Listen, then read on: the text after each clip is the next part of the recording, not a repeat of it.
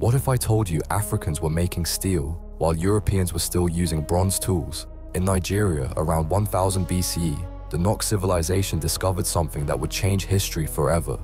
They built blast furnaces reaching 1200 degrees Celsius, creating the most advanced iron technology on Earth.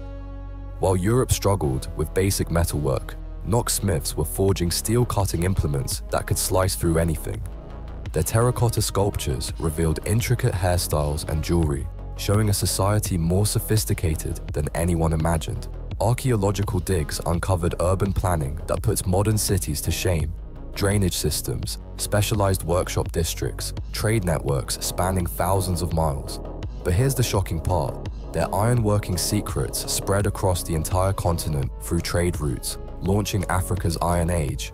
For the next 2,000 years, African armies dominated with superior weapons and technology. The evidence was always there, buried in the ground. They just didn't want you to know Africa was first. Follow Panna Afric for Africa plus money plus wisdom.